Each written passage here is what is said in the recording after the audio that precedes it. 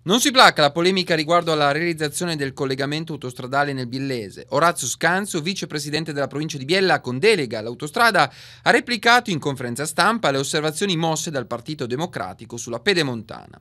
Noi quell'opera l'abbiamo ereditata da loro, ha spiegato. Il centro-sinistra vorrebbe la superstrada gratuita, ma il progetto di fattibilità messo in gara nel 2009 prevedeva il ticket anche per la superstrada attuale Biella-Cossato.